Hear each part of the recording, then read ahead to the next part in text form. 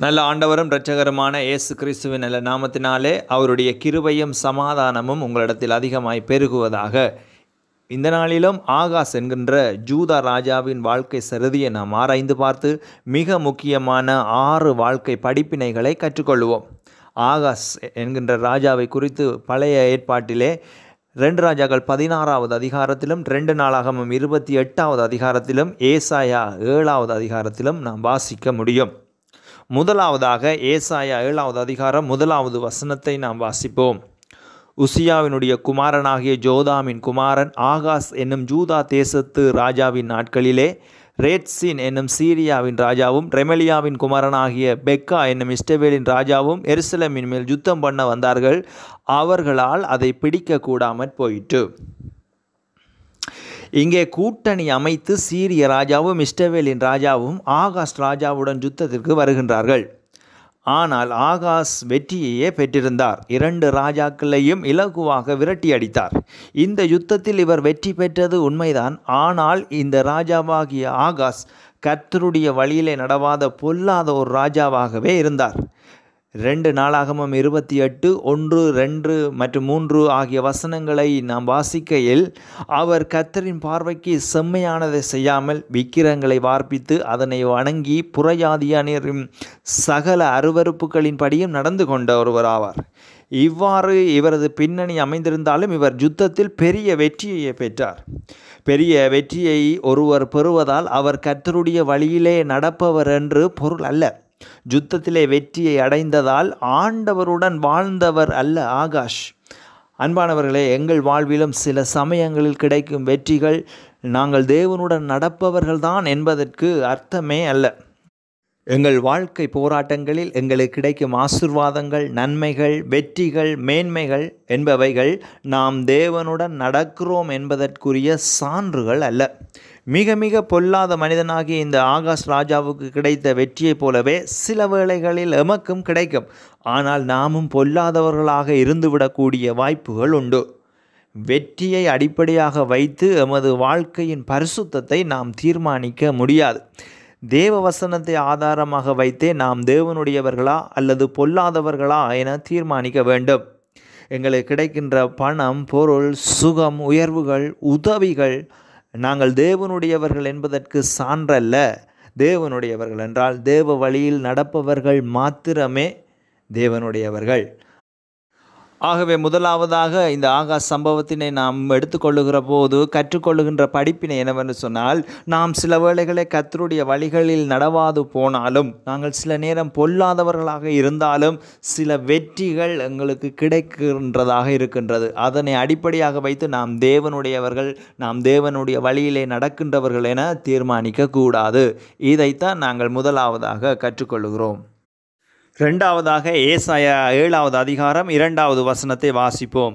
சீரியர் எப்ராயிமை சார்ந்திருக்கிறார்கள் என்று தாவிதின் குடும்பத்துக்கு அறிவிக்கப்பட்ட போது ராஜாவின் இருதயமும் அவன் ஜனத்தின் இருதயமும் காட்டிலுள்ள மரங்கள் காற்றினால் அசைகிறது போல் அசைந்தது. இங்கே சீரியர் எப்ராயிமை சார்ந்திருக்கிறார்கள் என்று ஆகாஷ் கேள்விப்பட்டதும் அவனுடைய இருதயம் காட்டில் உள்ள மரங்கள் காற்றினால் அசைவது போல அசைந்தது. ஆகாஷ் கத்தரை சார்ந்திராத ஒரு மனுஷன் விக்கிரங்களை நமஸ்கரித்த ஒரு மனிதன். இப்பொழுது நெருக்கடி நேரத்தில் அவனது இருதயம் மரங்கள் காற்றிலே அசைவது போல் அசைகிறது. உண்மையிலே உண்மையிலேயே கத்தரை சார்ந்திராத இருதயம் பிரச்சனை நேரத்தில் இப்படி தன்றிருக்கும் கத்தர் மேல் நம்பிக்கை வைக்காமல் மாம்சமானதை நம்பி சுயத்தை சுயத்தின் மேல் சார்ந்திருக்கிறவர்கள் பிரச்சனை வேளைகளில் அவர்களுடைய இருதயம் காற்றிலே மரங்கள் அசைவது போல் ஆடிக்கொண்டேதான் இருக்கும். இதைத்தான் இரண்டாவதாக நாம் தியானிக்கின்றோம். ஆகாஷ் ஏற்கனவே ஒரு யுத்தத்தில் வெற்றி பெற்றவர்தான். ஆனால் அந்த அனுபவம் அவருக்கு போதுமானதாக இருக்கவில்லை. அவருக்கு ஆண்டவருடன் சரியான உறவும் இருக்கவில்லை. போராட்டங்கள் யுத்தங்கள் உபத்திரவங்கள் எப்பொழுதும் நம்முடைய வாழ்க்கையிலே உண்டு. நாம் விரும்புகிறோமோ இல்லையோ அந்த வழியின் ஊடாகவே நாம் கடந்து செல்ல வேண்டும். ஆனால் அவற்றை ஸ்திரமாக எதிர்கொள்ள நாம் கர்த்தரை சார்ந்திருக்க வேண்டும். கர்த்தருடன் நடப்பவர்களாக இருக்க வேண்டும். இல்லையெனில் எமது இருதயமும் காட்டில் மரங்கள் காற்றினால் அசைவது போல அசைந்து கொண்டிருக்கும். தத்தளித்து கொண்டிருக்கும். நாம் தள்ளாடி கொண்டிருப்போம். அதிகமாய் குழம்பி போய் கலங்கி போய் செய்வதறியாது. நித்திரை இல்லாமல் புலம்பி புலம்பி தவித்து கொண்டிருப்போம். அன்பான தேவனுடைய ஜனங்களே கத்தரே எமக்கு அடைக்கலாம். அவரே எங்கள் கோட்டை அவரே எங்கள் நங்கூரம் அவரே எங்கள் கண்மலை அந்த தேவாதி தேவனிடம் எமது வாழ்வை ஒப்பு கொடுத்து அவரது வழியில் நாம் ஜீவிப்போம். அப்பொழுது எந்த மலையளவு பிரச்சனை வந்தாலும் அல்லது வெள்ளம் போல சத்துருக்கள் எழுந்தாலும் கடல் அலைகள் சீற்றத்துடன் பொங்கி எழுந்து வாழ்க்கை படகை முட்டி அழிக்க நினைத்தாலும் ஆண்டவர் கைவிடவே மாட்டார். உறுதியாக இருப்போம் நிலைத்திருப்போம் எதுவித சேதமின்றி பத்திரமாக இருப்போம்.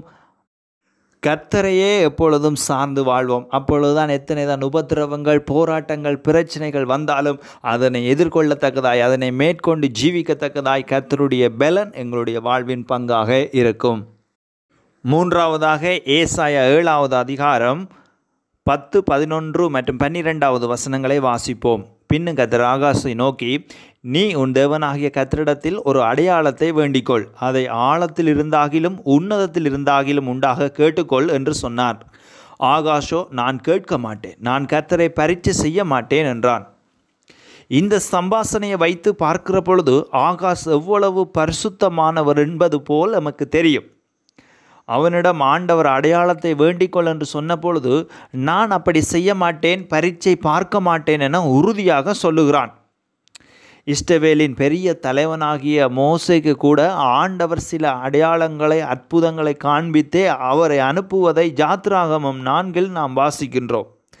நியாயாதிபதிகள் காலத்திலே கிதியோன் கூட தேவனிடம் சில அடையாளங்களை பரீட்சை பார்த்து தான் பிற்பாடு யுத்தத்துக்கு செல்லுகிறான். ஆனால் இந்த ஆகாஷ் ராஜாவிடம் ஆண்டவரே சொல்லுகிறார் நீயும் ஒரு அடையாளத்தை கேட்டுக்கொள் என்று என்று சொல்லுகிற பொழுது அப்படி பரீட்சை பார்க்க மாட்டேன் என வைராக்கியமாக இருக்கிறார். இவ்வளவு ஒரு விசுவாச வீரரா இவர் என சிந்திக்க தோன்றுகிறதல்லவா? வெளிப்படையாய் பார்க்கிற பொழுது விசுவாசத்தில் உத்தம புருஷன் போல காட்சி தருகிறார் ஆகாஷ் ராஜா. ஆம் இப்படி இருப்பதில் ஏது தவறு இருக்கிறதா? இல்லை. இல்லவே இல்லை. ஆனால் ஓர் சில விடயங்களில் இவ்வாறு இருந்து மற்ற விடயங்களில் அவ்வாறு இல்லாமல் இருப்பதே பிரச்சனை. உண்மையில் இந்த ஆகாஷ் ராஜா மிக மிக பொல்லாத ராஜா. ஏனைய ராஜாக்களுடன் ஒப்பிட்டு பார்க்கும்போது இவர் மிகவும் பொல்லாத ஒருவராகவே இருக்கிறார். விக்கிரங்களை வார்ப்பித்து விக்கிர தோப்புகளை உண்டாக்கி தனது பிள்ளைகளை பலி செலுத்தி மிகுதியான பொல்லாப்புகளை செய்த இவரா இவ்வாறு ஆண்டவரிடம் பேசுகிறார் என சிந்திக்க தோன்றுகிறது. அன்பானவர்களே சில விடயங்களில் வைராக்கியமாக இருந்து கொண்டு அதாவது மகா பரிசுத்தவான் போல இருந்து கொண்டு ஏனைய பல விடயங்களில் பொல்லாதவர்களாக ஜீவிக்க கூடாது. சிலர் வேதம் வாசிப்பதில் ஜெபிப்பதில் காணிக்கை கொடுப்பதில் மிக மிக வைராக்கியமாக இருப்பார்கள். அவையும் தேவைதான்.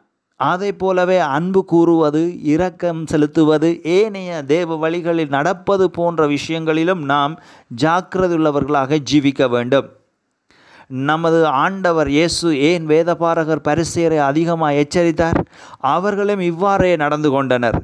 ஆண்டவருடைய எல்லா காரியங்களிலும் உண்மையாய் வைராக்கியமாய் பரிசுத்தமாய் ஜீவிக்க வேண்டும் உத்தமமாய் வாழ வேண்டும். இதையே தேவன் எதிர்பார்க்கின்றார். இதைத்தான் மூன்றாவதாக நாம் ஆகாஷனுடைய சம்பவத்திலே கற்றுக்கொள்கிறோம் நான்காவதாக ரெண்டு நாளாகமும் இருபத்தி எட்டாவது அதிகாரம் ஆறாவது மற்றும் ஏழாவது எட்டாவது வசனங்களை வாசித்து கொள்ளுங்கள். இங்கே ஒரு பெரிய அழிவு ஒரே நாளில் நடைபெறுகிறது. ஆகாஷ் ராஜாவின் பராக்கிரமசாலிகள் கொலை செய்யப்படுகின்றனர். யுத்த வீரர்கள் ஒரு லட்சத்தி இருபதனாயிரம் பேர் கொலை செய்யப்படுகின்றனர். ஸ்திரீகள் குமாரர் குமாரத்திகள் சிறைபிடிக்கப்படுகிறார்கள். அநேக விலையேற பெற்ற பொருட்கள் கொள்ளையாடப்படுகின்றன. இத்தனைக்கும் காரணம் ஆகாஷ் ராஜாவும் அவனது ஜனமும் கர்த்தரை விட்டது தான் காரணம். ஓர் மனிதனுடைய தவறினாலே பல குடும்பங்களுக்கு பாரிய சேதாரங்கள் உண்டாகின்றன. இந்த ராஜாவின் முரட்டுத்தன நடத்தையினாலே அந்த தேச ஜனங்களின் வாழ்வை இருண்டு போய்விட்டது. தனது சுயநலத்துக்காகவும் தனது ஆசை இன்பங்களுக்காகவும் வாழ்ந்த இந்த ஆகாஷ் எத்தனை பெனி பெரிய மனித இழப்புக்கு காரணமாகிவிட்டார். அன்பான தேவஜனமே எம்முடைய பாவம் எமக்கு மட்டுமல்ல அநேகரது வேதனைகளுக்கு காரணமாக அமைந்துவிடும் என்பதை நாம் மறக்கக்கூடாது. நமது விருப்பம் போல வாழ்வதனால் மற்றவர்களுக்கு எதுவித ஆபத்தும் இல்லை என்ற உணர்வோடு நாம் வாழக்கூடாது. நான் எனது இஷ்டம் போல ஜீவிப்பதனால் மற்றவர்களுக்கு எதுவித கெடுதியும் ஏற்படாது என சிந்திக்கக்கூடாது. ஜோனா என்கின்ற ஒருவரின் கீழ்ப்படியாமையினாலே கப்பலில் இருந்தவர்களுக்கு எத்தனை இழப்புகள் நஷ்டங்கள் ஏற்பட்டதை நாம் அறிந்திருக்கின்றோம். ஆகான் என்கின்ற பொருளாசை கொண்டவனால் பல உயிரிழப்புகள் ஏற்படுத்தப்பட்டதையும் நாம் அறிந்திருக்கின்றோம். நாங்கள் கர்த்தருடன் ஜீவிப்பவராக இருந்தால் அது பலருக்கு ஆசிர்வாதமாக இருக்கும். நாங்கள் கர்த்தரை விட்டு பின்வாங்கி துன்மார்க்கமாய் ஜீவித்தால் பலருக்கு வேதனையாகவும் இருக்கும்.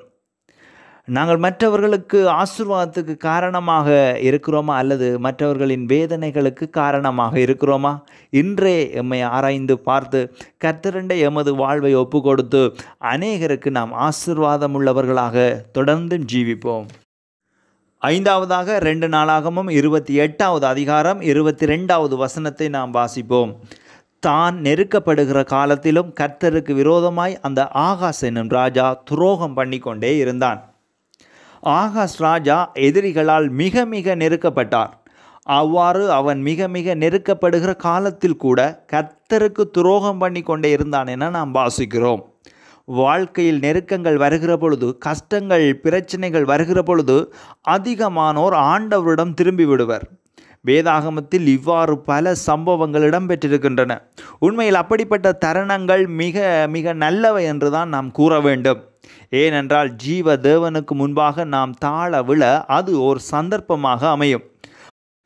ஆண்டவர் எம்மை நேசிப்பதால் அவ்வாறு சில சிற்சைகளுக்குள்ளாய் நாம் செல்ல எம்மை அனுமதிக்கிறார்.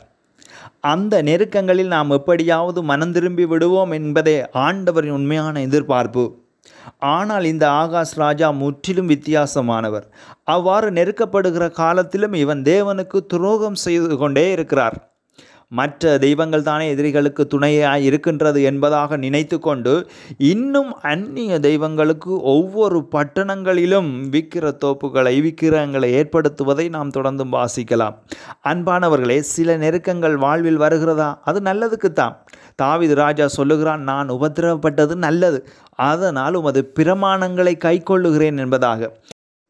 நெருக்கடி வேளையில் மேலும் மேலும் பாவம் செய்து வழி விலகி போகவே கூடாது. நெருக்கடி நேரத்தில் தேவ பாதத்தண்டை உட்கார்ந்து எமது வாழ்வினை நன்றாய் ஆராய்ந்து பார்த்து கத்தரோடு சீர்பொருந்தி அவருடைய வழியிலே நாம் ஜீவிக்க எங்களை அர்ப்பணிக்க வேண்டும். இதைத்தான் நாம் ஐந்தாவதாக ஆகாஷனுடைய சம்பவத்திலிருந்து கற்றுக்கொள்கிறோம் ஆறாவதாக ரெண்டு நாளாகவும் இருபத்தி எட்டாவது அதிகாரம் முதலாவது வசனத்தை வாசிப்போம். ஆகாஷ் ராஜாவாகிற பொழுது இருபது வயதாயிருந்து பதினாறு வருஷம் எருசலமில் அரசாண்டான். பதினாறு வருடங்கள் தான் ஆகாஷ் ராஜா ஆட்சி செய்தார். அதாவது முப்பத்தாறாவது வயதினில் அவர் மறித்து போய்விட்டார். தன்னுடைய இள வயதிலேயே இந்த ராஜா மறித்து போய்விட்டார். அப்படியே ரெண்டு நாளாகமும் இருபத்தி எட்டாவது அதிகாரம் இருபத்தி ஏழாவது வசனத்தை வாசிப்போம். ஆகாஷ் தன் பிதாக்களோடு நித்திரை அடைந்த பின்பு அவனை எருசலேம் நர நகரத்தில் அடக்கம் பண்ணினார்கள். ஆனாலும் இஸ்டவேல் ராஜாக்களின் கல்லறைகளில் அவனை கொண்டு வந்து வைக்கவில்லை. அவன் குமாரனாகிய எசேக்கியா அவன் ஸ்தானத்தில் ராஜாவானான். ஓர் பெரிய ராஜ மரியாதை அவரது உடலத்துக்கு கிடைக்கவில்லை. இளம் வயதிலேயே மறித்து போன இந்த ராஜா உண்மையில் யாருக்கும் எவருக்கும் பிரயோஜனமே இல்லாத ஒருவராகவே இருந்தார். தேவாதி தேவனுக்கும் எதுவித பயனும் இல்லாதவர் நாட்டு மக்களுக்கும் எதுவித பிரயோஜனமும் இல்லாதவர் தன் குடும்பத்தையும் இடைநடுவிலே விட்டுவிட்டு மறித்து விட்டார். உண்மையில் குடும்பத்துக்கும் உதவாத ஒருவராகவே ஆகாஷ் ராஜா இருந்தார். அன்பானவர்களே கிறிஸ்துவினால் இன்று நாமும் ராஜாக்களாகவே இருக்கிறோம். நாம் தேவனுக்கு பயனுள்ளவர்களா? நாம் எமது ஜனத்துக்கு பிரயோஜனம் உள்ளவர்களா இன்று எமது வாழ்வை ஆராய்ந்து பார்ப்போம். ஆண்டவரண்டை எங்கள் வாழ்வை ஒப்பு கொடுப்போம் அவரது வழிகளில் நடக்க பிரயாசப்படுவோம். அனுதினமும் வேத வார்த்தைகளை தியானிப்போம். பிரயோஜனமான பயனுள்ள வாழ்வை வாழ்ந்து ஓட்டத்தை ஓடி முடிப்போம். அப்போஸ்தலனாகிய பவுல் சொல்வதைப் போல நல்ல போராட்டத்தை போராடினேன் ஓட்டத்தை முடித்து கொண்டேன் என்று சொல்வதைப் போல நாமும் சொல்லக்கூடியவர்களாக ஜீவிப்போம். ஆண்டவர் தாமே உங்கள் ஒவ்வொருவரை நிறைவாய் ஆசீர்வாதிப்பாராக. ஆமேன் ஆமேன் ஆமேன்.